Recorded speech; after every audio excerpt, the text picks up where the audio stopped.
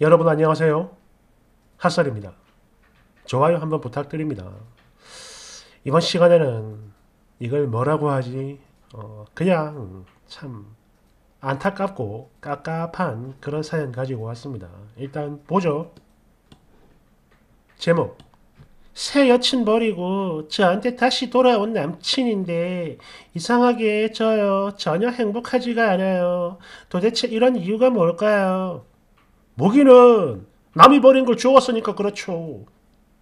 원제 남친이 파혼하고 왔는데 불행해요.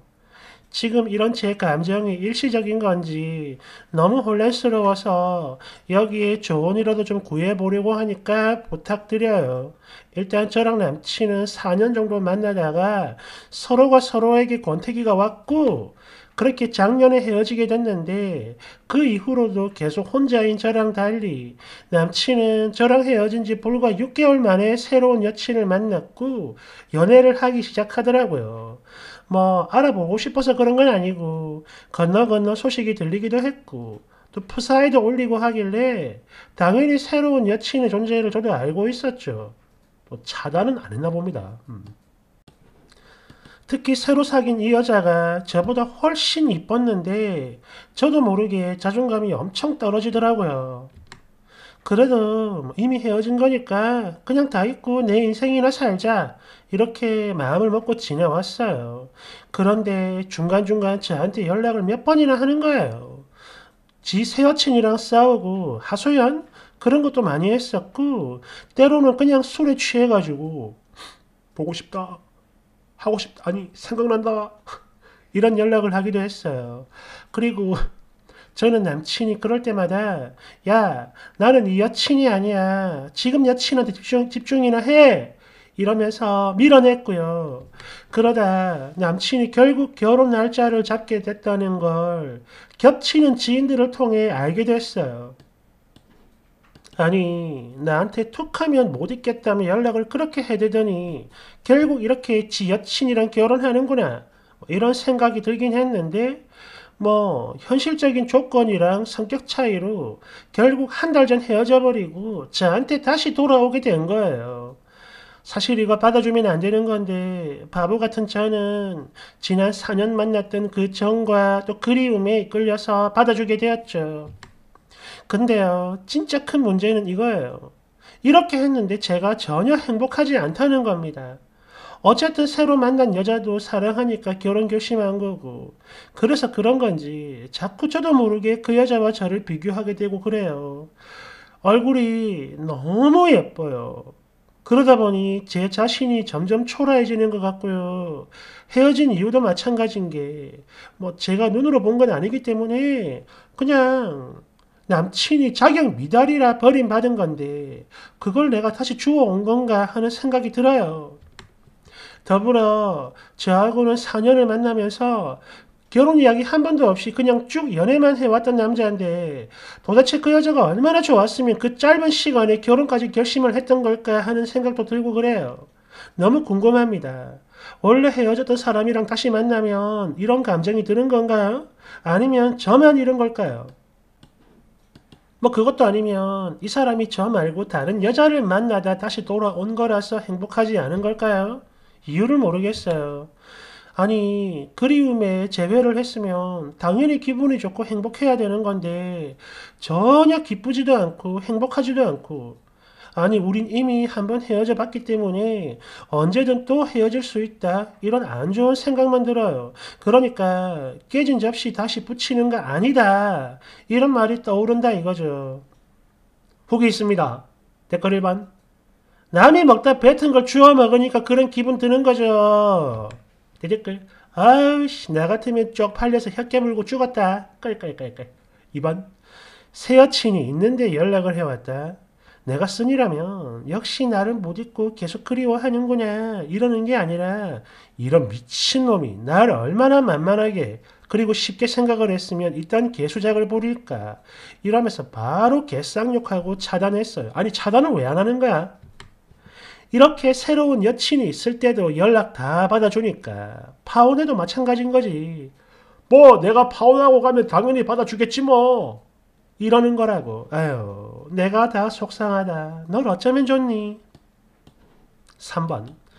네가 쓴 글에 이미 모든 답이 다 나와 있습니다. 자격 미달이라 버림받은 건데 그걸 내가 다시 주워 온 걸까요? 네, 맞아요. 남들은 갖다 버리는 걸 너는 좋다고 또 주워 온 겁니다. 4번. 아니 그래서 이제야 쓰니의 소중함을 알았으니 지금 당장 결혼하자 이런 말 합니까? 안 하죠. 그 여자랑은 6개월 만에 결혼 준비를 할 추진력이 있는데 쓰니한테는 없다고.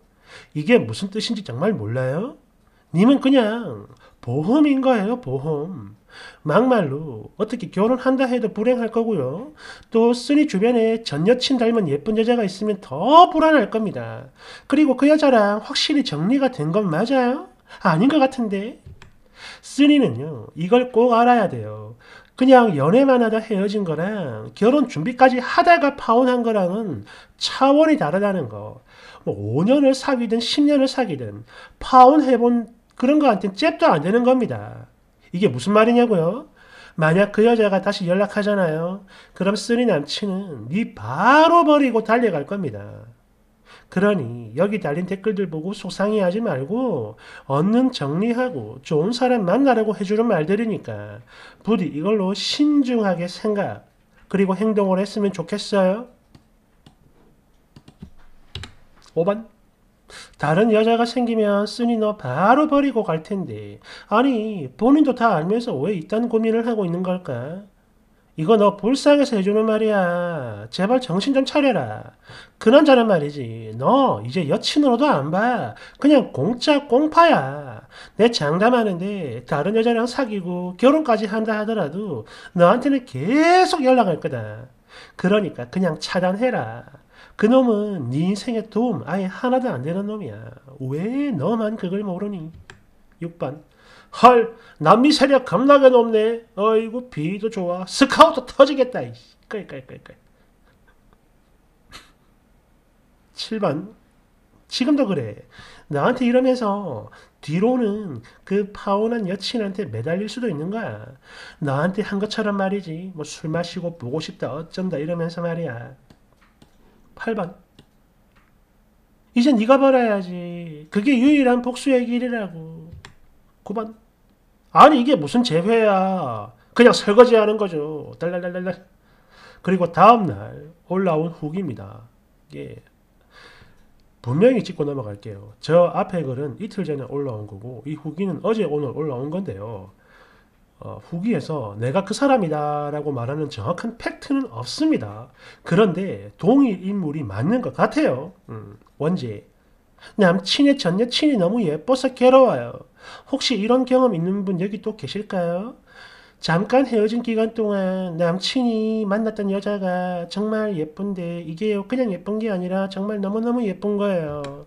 사실 저도 이걸 알고 싶진 않았는데 중간에 겹치는 지인들이 워낙 많아서 자연스럽게 뭐 인스타도 보고 그랬어요. 농담 아니고 처음에 사진 보고 정말 깜짝 놀랐습니다. 진짜 예쁘다 너무 이쁜 거예요. 그리고 스타일도 저랑 완전히 정반대입니다. 일단 저는 키가 170이고 피부가 되게 까매요. 눈도 무쌍이 되게 작습니다. 단추 구멍이죠. 그리고 타고난 체질도 되게 마르고 빈약한데 학창 시절엔 막 스켈레톤, 해골 바가지 이런 안 좋은 별명들을 달고 살았어요. 근데 이런저런 달리 그 여자분은 완전 피부 뽀얗고 새하얗고 눈도 엄청 크고 누가 봐도 꽉 찬 그런 글래머 스타일. 처음엔 뭐 어쨌든 그냥 과거니까 신경 쓰지 말아야지 했는데 그게 안 되고요. 또 하나부터 열까지 모든 게 비교가 되니까 저 스스로 위축이 돼서 막 짜증나고 괴롭고 힘들고 그래요.